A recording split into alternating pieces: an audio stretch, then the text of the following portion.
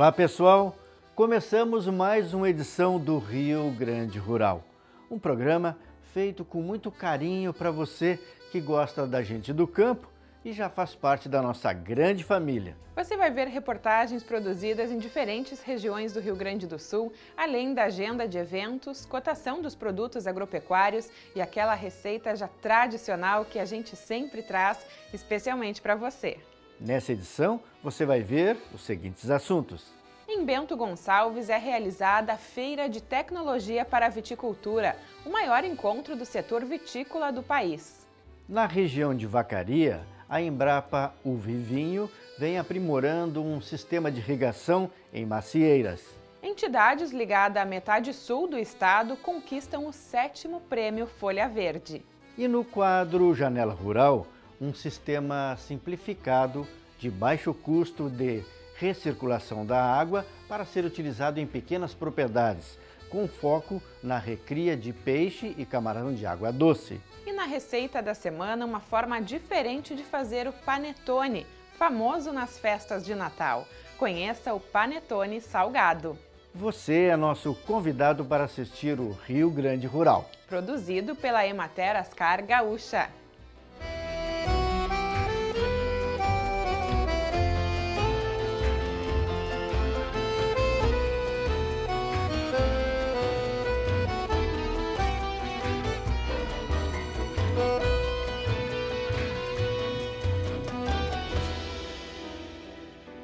A mais tradicional região produtora de uvas e vinhos do Brasil, a região da Serra Gaúcha, sediou a Tecnovits, feira de tecnologia para a viticultura. Na segunda edição, o maior encontro do setor vitícola do país contou com a apresentação de técnicas, equipamentos e produtos ligados à viticultura, reunindo produtores, fornecedores e profissionais da cadeia produtiva da uva. Bento Gonçalves, região da Serra Gaúcha, em cenários típicos da colonização italiana, os vinhedos dominam a paisagem. Em meio a esse cenário foi realizada a Tecnovites, Feira de Tecnologia para Viticultura. O evento conta com exposição de máquinas, artesanato e produtos da agroindústria familiar, além de palestras, seminários e demonstrações técnicas. No estande da Emater, o extensionista apresentou os critérios para avaliação da qualidade em mudas de videira. Essa é uma oportunidade ideal da Emater estar participando da, da Tecnovites, de levar ao agricultor a importância de, antes dele realizar o plantio das mudas, de ele visualizar se essas mudas estão em perfeita sanidade ou se tem algum problema que ele possa visualizar essas, nessas mudas. Porque depois de implantado o vinhedo, é muito difícil de recuperar as plantas. São dois os fatores que a gente recomenda que o agricultor, e isso vale para a viticultura e também para a fruticultura, duas questões que o agricultor tem e deve observar antes de iniciar o plantio do pomar. Primeira, com relação à fertilidade do solo, né, fazer as análises de solo, fazer a correção se necessário, né, adubação correta, porque a gente está falando em culturas que irão perdurar aí por 10, 15, 20 anos. Então a questão da fertilidade é a oportunidade ideal. E a outra questão é, é, toda a questão das mudas. A muda também ela vai perdurar por 10, 15, 20 anos. Né? E se a gente iniciar o plantio errado, ah, com certeza em 7, 8 anos nós teremos que renovar este vinhedo e consequentemente, o produtor, ao invés de obter lucros, vai ter prejuízo. Então aqui a gente tem uma série de mudas com uma série de defeitos que existem e que a gente procura mostrar para o agricultor, para ele fazer esta avaliação antes do plantio. O ideal é que o agricultor sempre encomende as suas mudas pelo menos um ano antes do plantio, que ele faça a preparação do terreno um ano antes e também, se ele for adquirir as mudas de fora, que adquira, eh, faça o pedido, a encomenda, uh, pelo menos um ano antes. Para isso, existem viveiros que são credenciados pela Embrapa, onde a Embrapa faz um acompanhamento desses viveiros e, é, e são os viveiros que a Imater, que a Extensão Rural, tem indicado para todos os agricultores. São viveiros que ah, ah, mensalmente a Embrapa faz avaliações, faz visitas e também acompanha os vinhedos já plantados. Então, são os, os vinhedos que são ah, recomendados por nós pela Extensão Rural Oficial. E aqui nós temos uma série de mudas com vários problemas, né? E, eh, que a gente pode, pode comentar e pode citar agora. Essas mudas são mudas produzidas por viveiristas não credenciados. Né? Aqui a gente tem, por exemplo, uma muda que aparentemente ela está sã, com ponto de enxertia bom, mas a questão de raiz não tem raiz. Né? onde a gente teria que ter uh, uma simetria radicular, nós não temos raiz. É uma planta que, colocada no solo, com certeza terá problemas futuros. Né? Então aqui problema de raiz. Nós temos problema de enxertia. Aqui até tem uma, uma, certa quantidade de raiz, mas o ponto de enxertia não está soldado, não tem soldadura. É uma das causas de maior mortalidade de videiras, onde a podridão, né, vários, vários tipos de podridão se instalam nas videiras e depois ah, muitas mudas até chegam até, até a altura do, do arame, né, mas depois acabam morrendo e os, uh, os produtores nos chamam para para identificar a, a, o problema e o problema é no ponto de enxertia. É um problema muito mais comum do que se imagina e muito mais comum do que se pensa. Né? Então, o ponto de enxertia, o agricultor recebeu a muda, se tem esse problema, ele força aqui, se quebrar, se, se, se ela está enegrecida, né? pretinha aí dentro, tem problema, não pode plantar essa muda. Nós temos outra aqui com dois problemas. A, recomendação da muda é que o nível de raiz seja de um nó, quer dizer, um nível de radicular, ou no máximo dois. Aqui nós já temos três. Temos o ponto de enxertia próximo ao nível de raiz. Aqui teria que ter uns 10 a 15 centímetros. Está errado. E além disso, problema de soldadura da muda. Então isso aqui é uma muda totalmente condenada, que com certeza teremos problemas futuros. Né? Nós temos outra muda aqui com o ponto de enxertia, esse aqui é uma enxertia ômega, né? Uh, que é muito boa, o pessoal não conhece esse, esse, ponto, esse tipo de enxertia, enxertia ômega. Uh, um broto muito bom, mas também com sérios problemas de raiz e com certeza teremos problemas futuros no desenvolvimento desta, desta muda. Outra muda também com problema de enxertia e problema radicular. Né? E aqui nós temos as mudas que a gente falou. Claro que são, são mudas uh, que já elas estão aqui há vários dias, então não estão próprias para, para, para o plantio, né? Mas são as mudas de viveiristas credenciados pela Embrapa, onde ela tem um padrão de tamanho, tamanho ideal, a grossura ideal é o diâmetro de um lápis, né? o ponto de enxertia elevado, longe né, do solo de onde será plantado, né? Com uma proteção com cera especial, com cera tratada, uma proteção especial para os brotos e também a condição radicular muito boa. Evidentemente que essa muda vai, ter, eh, vai sofrer uh, um toalete antes do, do plantio, com a, a, poda né, dessa raiz em torno de 6 a 10 centímetros de raiz que ficaria. Então essa seria a muda ideal. Isso é o que a gente está indicando para os agricultores, aqueles que não produzem as suas mudas, uh, que eles uh, observem todos esses parâmetros antes de fazer o plantio uh, das mudas que eles receberão. Outra questão bastante importante é, recebi uma muda boa, vou fazer o plantio, vou fazer o toalete da muda, que consiste em podar, né, cortar as raízes. Vamos pegar essa muda aqui, ó, desta forma, né? Desse tamanho, essa, essa muda tem uma simetria muito boa né, e é o tamanho de poda, é que ele faça a imersão dessa muda em, ah, ah, ah, em, em, algum produto. A gente recomenda muito o tricoderma, né, que é um, que é um é um produto natural, né? Uh, para fazer a desinfecção de fungos dessa muda. Então, esses seriam os passos, os primeiros passos, né, que o agricultor deve, tem que observar para obter um vinhedo de qualidade. Thompson, aqui vocês trouxeram também alguns exemplos de plantas de cobertura do solo em vinhedos. Quais são os exemplos aqui que a gente pode observar? A cobertura de solo é uma das bandeiras defendidas pela Imater há vários anos uh, no início, há 10, 15 anos atrás, uh, ah, 20 anos atrás, a gente tinha uma dificuldade enorme de fazer com que o agricultor adotasse essa técnica, uh, justamente porque o agricultor gostava de ver o solo limpo, né? o solo sem planta nenhuma, que aqui na Serra era significado de relaxamento.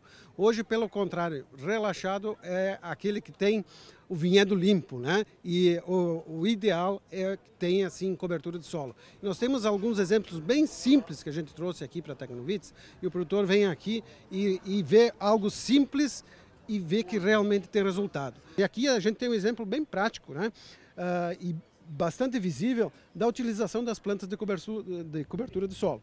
Nós temos um solo aqui onde uh, existe a vegetação nativa. Né? Aquele solo que já foi cultivado aveia, que já foi eh, cultivado a, a ervilhaca e ele está naturalmente equilibrado, a gente recomenda que o agricultor deixe a vegetação nativa e faça o controle da vegetação nativa, porque já é um solo equilibrado. Vocês vejam, depois de uma chuva, aqui a gente colocou a mesma quantidade de água em cada, em cada ah, solo, né? a representação do solo. Aqui ah, praticamente não houve escorrimento de solo com a vegetação ah, nativa. Aqui, ah, com a vegetação cu, cu, cultivada, uma aveia, né? Um pouquinho mais de terra. Aqui somente um ano, então, de palhada de aveia, então já tem um pouco mais de solo e a grande diferença, então, aqui, né? O solo o solo sem proteção nenhuma. Então, realmente a quantidade de terra, a quantidade de nutrientes que, que são perdidos uh, é enorme. Sem contar que para né, se formar um, um, centímetro de solo na, na Terra, isso é são necessários milhões de, an, milhões de anos. Né? E aqui, uh, simples, simplesmente com o manejo das plantas, nós temos uma série de benefícios. Então, uh, protege da, da erosão, mantém umidade no solo, é fonte de nutrientes a partir do segundo, terceiro ano que ela começa a reciclar os, os seus nutrientes. É uma, são uma série de vantagens. A gente tem mostrado isso aos agricultores e tem conseguido sim reverter bastante esse quadro e eu diria que nos últimos 10 anos aí a, a, é muito significativo a quantidade de, a, de, agricultores que está adotando essa prática. É uma bandeira nossa, é uma bandeira da extensão rural, né, é uma bandeira da Imater e eh, se tinha antigamente uh, bastante uh, restrição pe pela utilização das plantas de cobertura, hoje uh, já é algo que está sendo superado. A Emater apresentou também o termoigrômetro, esse aparelho que mede a temperatura e umidade do solo. Então aqui a gente tem dois termoigrômetros, né? um sobre o solo, absorvendo toda a luz, e outro sobre uma palhada, uma palhada normal de aveia. Agora a gente pode, pode mostrar aqui ah, onde tem o sensor ah, no solo descoberto, ah, recebendo a luz solar. Nós temos uma temperatura uma temperatura de 33 graus e aonde nós temos cobertura 25 graus, então são 8 graus de diferença. E com relação à umidade do solo, a diferença é mais discrepante ainda. Onde o solo está descoberto, 56% de umidade, e onde tem uma simples cobertura de aveia, 96% de umidade. Então isso demonstra de forma prática, visível aos agricultores o benefício que tem a cobertura do solo. No estande da Embrapa, mais tecnologias que estarão à disposição dos produtores. Esse ano na Tecnovites nós temos dois equipamentos que foram desenvolvidos em parceria da Embrapa com outras instituições. Temos o suquificador integral, que é um equipamento para elaboração de suco de uva integral em pequena quantidade. E temos também a máquina de colher uva no sistema latada, que nós estamos dando um apoio junto com outras instituições para os agricultores de Nova Roma do Sul que desenvolveram a máquina. O suquificador já está disponível, é uma tecnologia finalizada que já está à disposição para comercialização. E a máquina de colher uva no sistema latada ainda está em finalização, estamos em processo de licenciamento uh, para que os agricultores possam, enfim, ter acesso a elas. Os irmãos Miguel e Tiago, há três anos, já colhem a produção de uvas com a máquina que eles mesmos inventaram. Como é que foi esse processo de criação?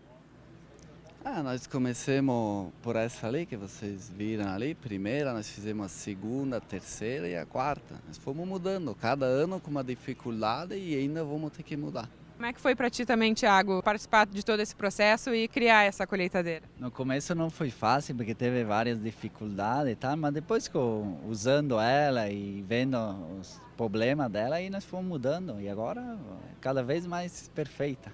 E agora nós vamos ver ali, estamos fazendo os testes com a Embrapa ali, eles para ver a sanidade das pareiras, se machuca, gema, tudo essas coisas aí. O projeto é que em breve, num futuro, outros produtores possam utilizar essa máquina. Com certeza, vai ter no mercado a compra e, e uma coisa garantida né, pela Embrapa e Bravin e todas essas entidades ali. E facilitou bastante para vocês a colheita? Com certeza, muito mais fácil e menos cansativo e tudo, né? Esse pequeno produtor de André da Rocha veio conhecer as novidades do setor. Eu saí de empregado e fui trabalhar na lavoura por conta. E daí resolvi botar o parreiral, plantar o parreiral. E depois comecei a produzir uva e vender. Antes arrendava parreirais dos outros e depois fiz o meu. E o que o senhor está achando aqui da feira? Já tinha vindo? Nunca. E o que está achando? Bonito. Bonito, venho mais para curiosidade sobre pareira para ver. Né? O evento é promovido pelo Sindicato Rural da Serra Gaúcha, com apoio de diversas entidades. A feira nasceu da, da necessidade de aproximar o produtor rural da, das tecnologias existentes no mercado. Então a gente pensou em, em reunir numa feira tudo o que tem de, de tecnologia no mercado hoje, né? E graças a Deus, com nossos apoiadores, as entidades do setor, a gente conseguiu realizar a feira para essa segunda edição, né, sendo que a primeira aconteceu em 2015, essa segunda já duplicou o tamanho, né, em expositores e em espaço também. Hoje são 25 mil metros quadrados de feira e o pessoal tem a oportunidade de ter palestra técnica, seminários com assuntos pré-definidos e além de estar em contato o produtor com a pesquisa, o ensino e com os expositores que trazem a tecnologia.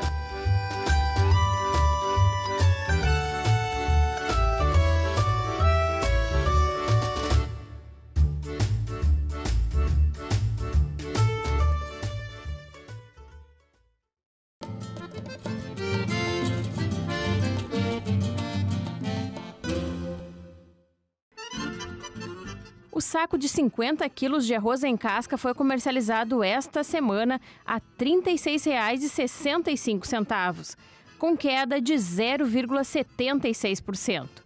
Já a saca de 60 quilos de feijão foi vendida a R$ 129,71, com redução de 2,72%.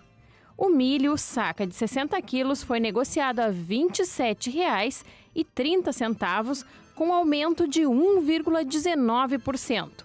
A saca de 60 quilos de soja foi comercializada a R$ 65,23, com elevação de 0,38%.